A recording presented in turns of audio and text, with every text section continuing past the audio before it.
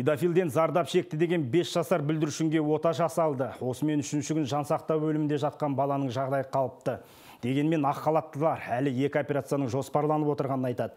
Қарағанды облысындағы әріптесі Мейрамгүл Салқынбаева тәулік бойы 50 жастағы азаматтан қорлық көрген кішкентай қыздың анасымен тілдесіп көрген еді.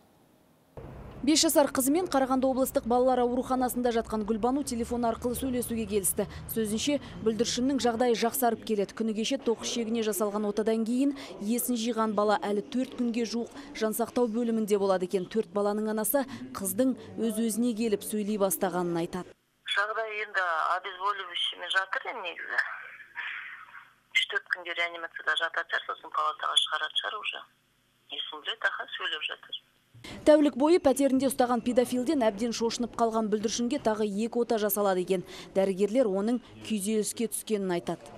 В больницу была доставлена... Бізге 5 жасар қыз Жезқазған қалалық ауруханасынан келіп түсті, бірақ өзі Сәтпаев қаласының тұрғыны.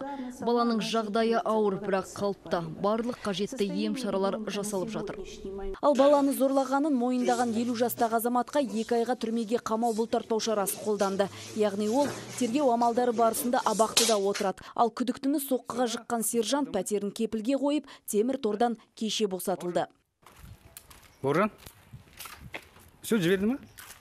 О машалла все Төрт балалы отбасы бес жасар қыздарын биыл мектепке береміз деп жоспарлағандарын айтады. Тіпті алғашқы қоңырауға дайындалып арнайы киімде сатып алған көрінеді. Бірақ осыдан төрт күн бұрын болған оқиға бар армандарын тасталқан етті дейді анасы.